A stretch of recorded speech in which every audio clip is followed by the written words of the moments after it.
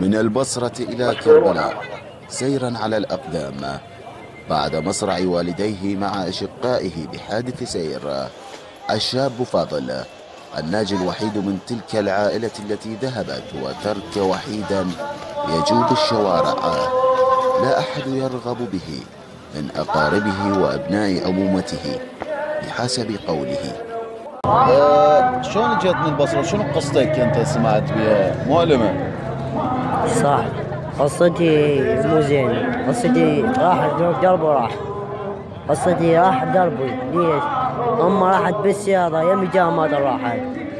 أمي راحت بالسيارة أبوي راح بالسيارة. من أجي من البصر لهنا. مسي وأنا بالسارع. أنا بالسارع. البصر الصح. أبوي راح. أمي راحت. جيت مشي من البصرة من بس هنا؟ مسي زين شو شلون ماتوا أهلك؟ ماتوا بالسيارة حادث سير؟ بالسيارة ماتوا أنت الناجي الوحيد بيهم مو؟ وحيد أنا لهم وحيد خواد راحوا ماتوا حتى خواتك وياهم؟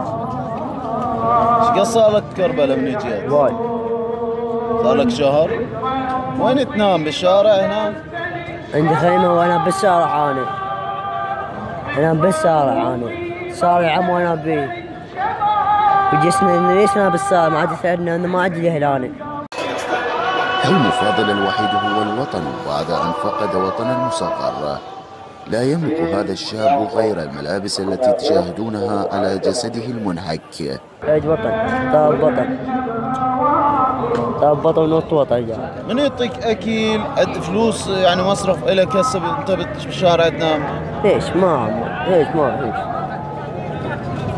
سنة ستين ما أدري الشيء المدرسة أنت كنت لا. ما سجلوك؟ أم وأبوي نايم على الدرب شني راسه. راس أبوي وين؟ يم اللوري. يم الجاير راس أمي. راس أبوي يم انسحقوا بلوري.